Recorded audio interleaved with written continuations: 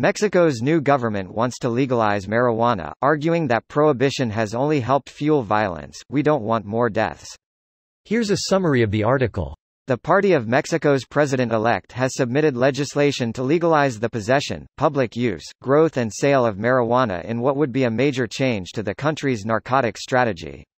If the bill passes, Mexico would join Canada, Uruguay and a number of U.S. states that permit recreational use of the drug and allow its commercialization.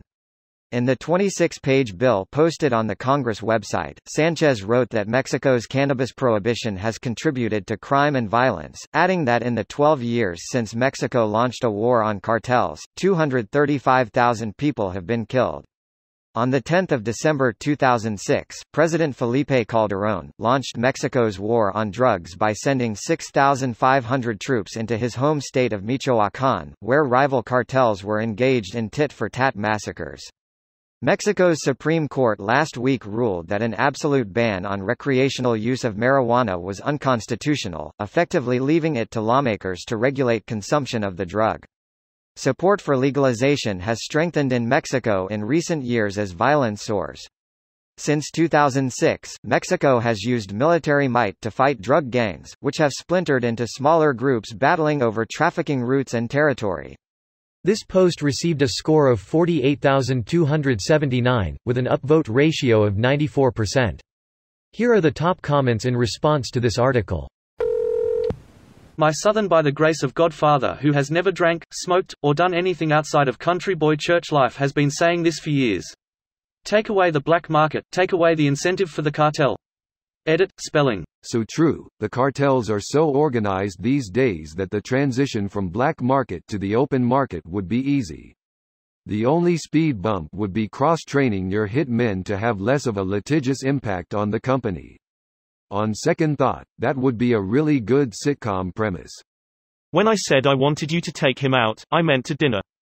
Cue laugh track. Ja ja ja ja ja ja ja. Living in a Latin American country for years it took me a while to get used to the that and many spelling sounds. But my favorite was a friend pronounced joker as yoker. You must have never been to a yak in the box and order a jumbo yak.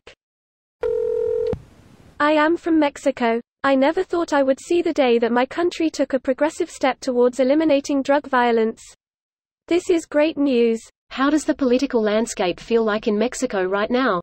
Optimistic? Pessimistic? In between? To be honest the population is split in two. The first part is hopeful that the new president will bring change for the poor and unfavored, will crack down on corruption, and the economy will flourish. The other half is skeptical of his capabilities as a leader and scared he will bring instability to the economy. As of now, it's still a toss-up on the outcome, but there definitely is a polarization of the citizens. Totally agree with you, there are lots of people trash talking about the elect President AMLO, but I'm sure we can't be worse than the last six years. I'm from Fresnillo Zacatecas one of the most violent cities in Mexico because of the cartel constant control wars. S. O. to Fresnillo I'm from Juan Aldama. Not every day you get to meet someone close to home. Should never have been a banned substance in the first place. The upside to legalization far outweigh the costs. Hopefully politicians in the UK will soon follow suit and pull their heads out their collective asses and let the seed blossom. 10 years minimum. Tories won't do it. The implication that the Tories will be in power for another decade is one of the most pessimistic things I've heard all week. Now they have to. Because of the implication.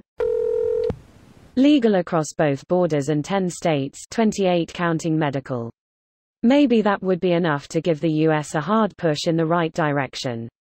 Actually it's closer to 32 depending on what you count as a medical state. Soon marijuana will only be, be completely prohibited in those remaining 18 states in all of North America. If you want to include CBD, we're looking at only Idaho and South Dakota.